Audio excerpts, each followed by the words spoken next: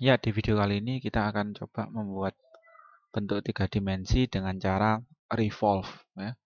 Dengan cara memanfaatkan revolve. Revolve itu biasanya eh, sering digunakan untuk benda-benda yang berbentuk eh, melingkar silinder ya, melingkar atau silinder. Nah, misalkan kita mau menggambar bentuk seperti ini ya. Bentuk seperti ini ini ada ukurannya. Nah, nanti ini kita revolve ini kalau dipotong ya, misalkan biasanya revolve itu gambar khusus untuk gambar potong potongan ya. Jadi saya coba ya uh, dengan cara revolve. Ya, pertama kita lihat dulu ukurannya. Kita lihat dulu ukurannya, kemudian kita pastikan semua bisa terbaca ukurannya.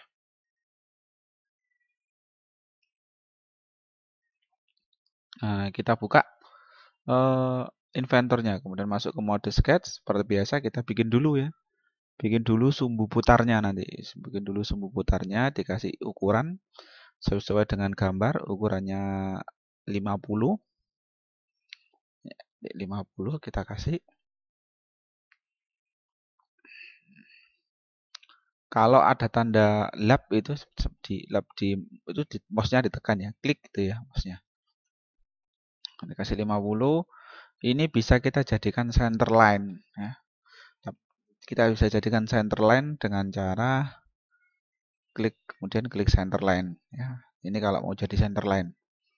Nah, kalau mau jadi center line ya. Kalau tidak usah ya bisa tapi tergantung eh, kita mau ngerjakannya bagaimana. Ini misalkan kita tidak menggunakan menggunakan center line dulu kita coba bagaimana apakah bisa kalau menggunakan dimensi seperti itu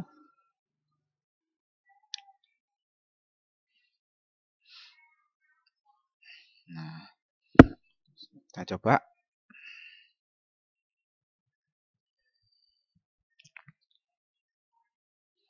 Kita bikin line dulu. Nah, line dihubungkan untuk persegi. Nah,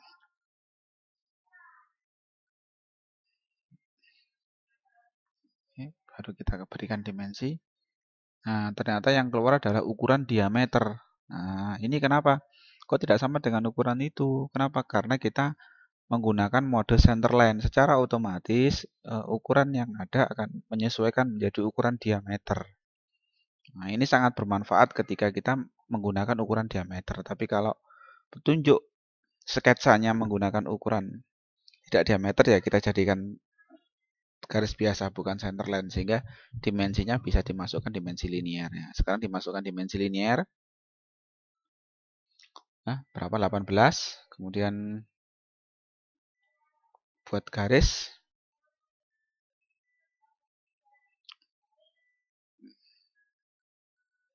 buat garis nah, buat garis yang 11 mili ya caranya uh, garis sembarang dulu, yang penting lurus dengan atasnya atau sejajar. Kita buat Nah, kemudian kita kasih ukuran 11 karena di situ sudah ada ukuran 11. Hanya kita bikin uh, sketch selanjutnya. Ingat yang benda padat adalah yang diarsir ya. Diarsir adalah benda padat yang terpotong. Nanti itu yang akan kita jadikan bendanya buat rectangle sembarang aja beri ukuran 45 sesuai dengan gambar. Ini beri ukuran.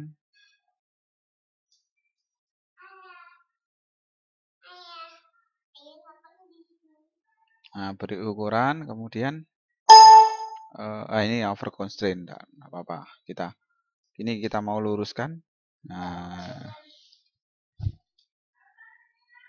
Kita luruskan.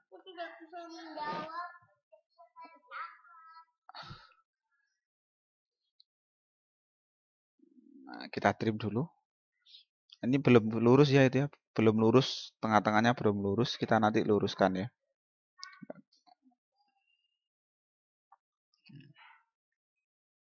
Ini belum lurus karena tengah-tengahnya harus lurus itu satu satu garis ya. kita luruskan nanti. Yang mana yang belum lurus nanti di gambar itu yang ini. Ya yang ini nanti belum lurus. Nanti ini kita luruskan ini lurus tengah-tengah ya. Lah ini. Kita luruskan nanti ya. Kita bikin garis bantu, sketsa bantu dulu. Bikin sembarang saja nanti kita bisa luruskan dengan cara constraint ya. Nah, ini keliru, dipakai yang satunya. Nah, kita undo, kemudian kita luruskan. Nah, ini sudah lurus tengah-tengah. Nah, dicari hijau dengan hijau lah, lurusin. Nanti sudah segaris tumbuh tengah-tengahnya. Berikan ukuran 50. Nah, kita lihat, ya benar 50. Kita lihat. Untuk memastikan saja ketik oh 38 ya yang ini 38. 38 50 yang di luar ya, 50 yang di luar. Kemudian kita bikin untuk ukuran selanjutnya kita nah ini uh, tingginya 50 kita bikin uh, itu ya uh, yang agak miring itu ya. Agak miring itu dengan jarak 47 ya. Miring buat aja sembarang. Barang buat yang penting miring nanti kita kasih dimensi ya. Kita kasih dimensi. Oh kok miring? Oh ini keliru dimensinya keliru ya. 47 dari sumbu putarnya ya yang paling bawah nih sumbu putarnya. Nah, sumbu putarnya kita unduh saja nanti kita unduh kita buat lagi dimension nah, titiknya kita klik kemudian itunya diklik nah dikasih ukuran 47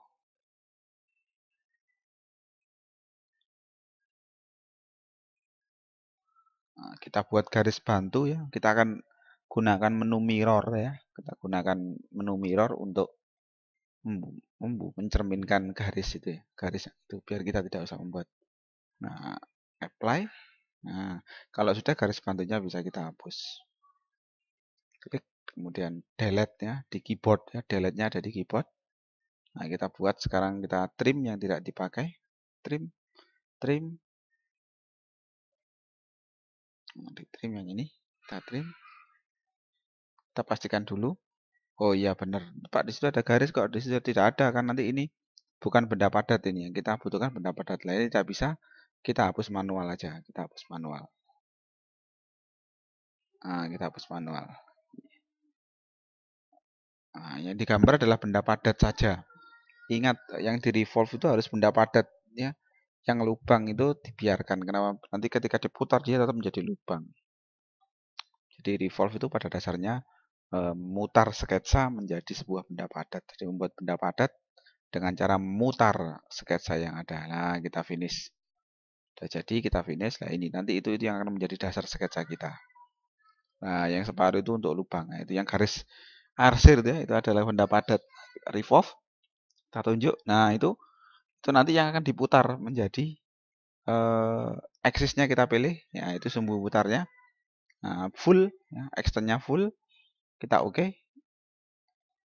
nah sudah jadi ini adalah gambar uh, puli standar ya biasanya digunakan untuk uh, di seleb-selepan itu karetnya yang pakai karet yang bukan sabuk V tapi karet yang biasa yang lebar biasa seperti itu. Oke, okay? itu adalah cara menggambar e, tiga dimensi menggunakan e, revolve. Memanfaatkan revolve ini khusus digunakan bentuk-bentuk silinder biasanya. Ya. Dulu sudah extrude, sekarang revolve. Oke, terima kasih. Selamat belajar.